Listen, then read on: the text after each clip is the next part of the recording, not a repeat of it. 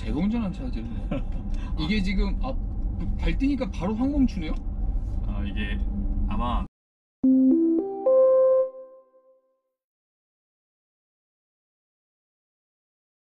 아니 가솔린 타시다가 타면은 되게 이질적일 수 있는데 아니에요 저 하이브리드 차 아. 저는 테슬라 타다 테슬라도 저는 그 회전제동 강하게 놨었거든요. 예. 그거 타다가 이거 타니까 조금 덜한. 잠깐 이게 지금 제일 가솔린 같다고 했던 건가요? 어 하나 오른쪽 거 싶다. 그러면 이게 이제 먼저 그냥 계기판에는 뭐로 표시되는 거예요? 여기에 플러스 마이너스. 예. D 플러스 그러면 아 이게 그냥 타력 주행이 그냥 되는 네 모델이고 맞아요.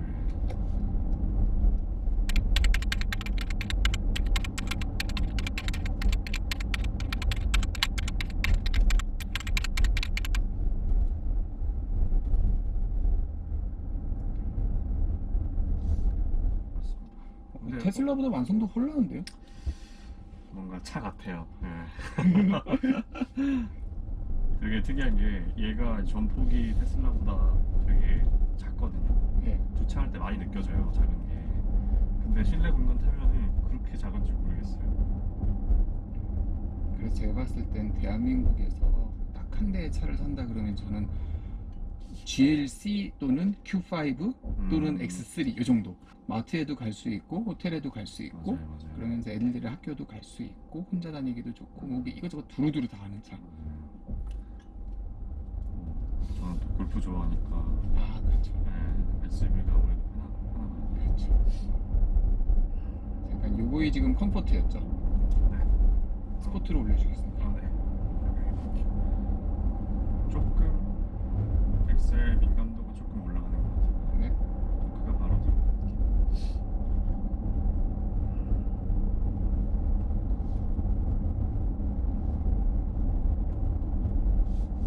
하나 더 넘기면 D 마이너스가 되면은 2단계 어, D 더블 마이너스가 되면 이게 제일 잡아당기는 거군요. 네 맞아요. 어, 너무 빨리 멈추네. 근데 이게 저 두 단계는 좀 아쉬운 게 더 브레이크의 반응을 예측하기가 더 어려워가지고 언제 개입할지 모르겠어요. 그때 그때 다른 게 함정이군요. 그런 게 좀 어렵더라고요.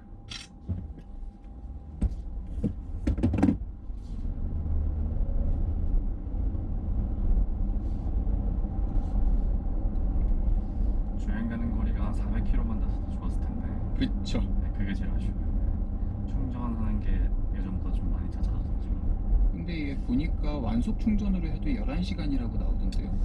어... 10시간 정도는 걸리는 것 같아요. 예. 네네. 아니 그게 괜찮은 게 예전에 저 미국에서 카이엔 하이브리드 충전할 때 그 차가 한 10시간, 11시간 아 걸렸었어요. 진짜요? 근데 배터리 크기로 보면은 걔는 실제로 달릴 수 있는 게 한 끼케야 30km, 그 정도. 그냥 발 컨트롤 해도 한 40km 이 정도였기 때문에 물론 미국이 110V였으니까 우리나라에서는 한 절반으로 시간을 땡긴다 쳐도 음, 그런 정도 놓고 봤을 때는 지금 한국 완성 충, 충전기가 7kg 같으니까 예, 어, 10시가 좀 넘게 걸리는 것 같아요. 아, 충전에 대한 UX는 아, 테슬라의 완성도가 매우 높아요. 그거는 인정하는 바입니다. 제일 불편한 게 뭐지? 그 주유기 커버처럼 생겼잖아요. 주유기가. 그래서 자동으로 안 닫혀요. 그게. 음, 그러니까 뭐 당연히 예. 당연히 주유를 하면은 이제 뭐 주유기 빼고 그 뚜껑 닫고 커버 씌우잖아요. 예, 이제 그대로 만들어졌어요. 그래서 충전기 뽑고 충전기 커버 닫고 이제 주유 커버처럼 그 마지막 커버 그렇죠. 돼 있거든요. 테슬라는 뭐 슈퍼차저나 destination 찾아 가면은 이제 그 충전기는 톡을 누르면은 충전기 커버 열리고 예. 빼면 알아서 닫히니까 그래서 몇, 처음에는 몇 번 그렇게 계속 뚜껑 열렸다고 하더라고 경고 나와가지고 아, 참. 확실히 그 부분은 차이가 있죠. 네, 그래서 아, 뭔가 이제 기존의 내연기관을 만들던 차하고 전기차를 처음 만드는 차하고는 이게 좀 다르구나. 그보다 직전 차가 테슬라라면 그렇죠. 아, 그 브레이크 양 재미 조절하는 재미가 있네요. 네. 저는 그냥 타면 스포츠 모드 예. 그리고 그 마이너스 하나 이렇게 해가지고 지금 뭐. 스포츠가 전혀 스포츠 같지가 않고 아 이게 벤츠의 스포츠구나. 그게 벤츠에서 그나마 제일 하드코어 같은 데가 AMG GT고 네. 그 중에서 GTR이라고 생각했거든요. 네네네. 그리고 저는 이 길을 그때 그 GTR로 한번 달려봤어요. 음, 부드럽습니다. 아 진짜. 다른 차 치고는 카랑카랑하고 굉장히 하드코어한 거 맞는데 네. 지향이 911인 것도 맞는데 어, 진짜 아. 부드러워요 그 차도. GTS를 이렇게 알아봤더니 딜러가 거의 안 나온다.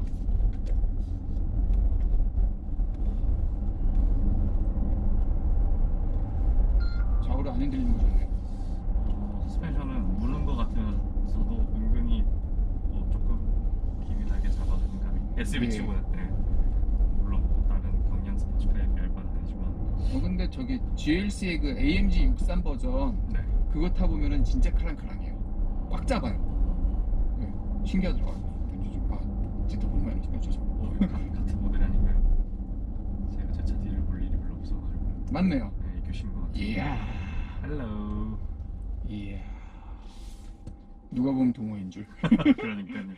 저희도 처음 봤어요. 아 이게 차가 안 좋은 게 흔치 않잖아요. 그러니까 5월까지인가 국내에 판매된 게 그냥 일반 그 현금이랑 할부로 판매된 게한 49대, 47대 막 이 정도래요. 오 생각보다 많이 나왔네요. 그러니까 뭐 보조금 없이 한 자리 기대했습니다. 이야. 보조금 없이 친 거는 많이 팔았는데, 네 그게 안 좋은 게 되게 요즘 많이 느끼는 게 저는 이제 골프장 많이 다니니까 예, 고속도로를 많이 타잖아요. 예. 그러면 뭐 한 10번에 한 두번 꼴로 전화 와요. 어디 가냐고. 오. 오. 그래서 어, 어 봤어요 그러면은 뭐 이 이 구역에서 이 퀴즈 탈 사람 너밖에 없다고. 그쵸. 제 주위에도 없어요. 다음에 좀 평범한 잘 타야겠어요. 어려울 것 같은데요. 전에 i8이랑 비교하면 어떠세요? 아, 이게 왜냐면 그 차도 약간 비슷한 메커니즘과 또 그 차도 나름 재미있는 측면과 경제적인 측면을 동시에 지닌 차니까. i8은 뭔가 한 대만 가지고 있어서는 안될 것 같아요. 1.5리터 3기통 엔진일 거예요. 맞아요. 가솔린이 맞아요. 거기다 터보를 얹어가지고 이제 전기 배터리랑 모터를 조합해서 만든, 만들었는데 한 150km 주행하기는 딱 좋아요. 음. 근데 한그 그 이후 넘어가면은 주유를 너무 자주 해야 돼요.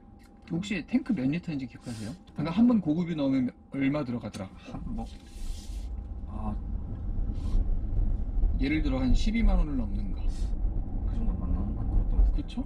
네. 예. 제 기억에 한 300km 좀 넘게 갔던 것 같아요. 두 개 다 포함해서. 음, 그래서 배터리가 얼마 못 받쳐줬으니까. 기름을 너무 자주 넣어야 돼가지고. 예. 그리고 고속도로 휴게소는 그 보험료가 없잖아요. 그렇죠. 그래서 그렇죠. 미리 넣고 가야 돼요. 어디 갈 때. 또 시골 가면은 그런 게 좀 불편했어요. 현재 승차감 어떠세요? 옆에 타면 다른가요? 뭐 나쁘지 않은데. 네, 그냥 부들부들한 벤치 느낌. 그 가속할 때 엔진 카랑카랑 없이 그냥 가는 게 포인트인 것 같고요. 네, 어색하죠 좀. 그 다음에 이렇게 언덕 내려갈 때는 약간 토크 걸 수 있고. 네, 맞아요. 제가 지금 완전히 그 플러스로 놓거나 그냥 뒤로 놨을 때는 네. 브레이크 밟을 때는 좀 밟아줘야 돼요. 음, 예, 그리고 생각만큼 회생 게이지가 별로 안 차서 맞아요. 확실히 얘는 예, 이걸 걸어주고 달리는 게 연비에 좋은 것 같아요. 음, 그리고 이 정도 내려갈 때 지금 D 마이너스 이 정도 걸면은 딱 효율적인 것 같고요.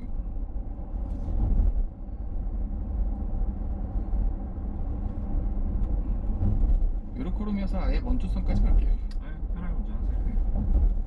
저도 오늘 운전 너무 많이 해가지고. 근데 이런 날은 어디를 가도 좋을 것 같아요. 훨씬 좀 이렇게 깨끗한 서울 밤을 본 게 되게 오랜만인 것 같아요. 좌우 공간감 꽤 있는데요. 아, 어, 네. 근데 네. 좋은 점은 뒷바퀴 조향이 되는 것 같아요. 예. 제 느낌에 뭐 스펙을 확인한 건 아닌데 그래서 회전할 때 크게 신경 쓰지 않는데 아니 그냥 좌우 선을 확인하면서 봤을 때 GLC의 크기라고 알고 있는데 조금 더 잡아야 되겠는데 느낌이. 음, 그리고 물론 GLE까지 잡을 필요는 없는데 그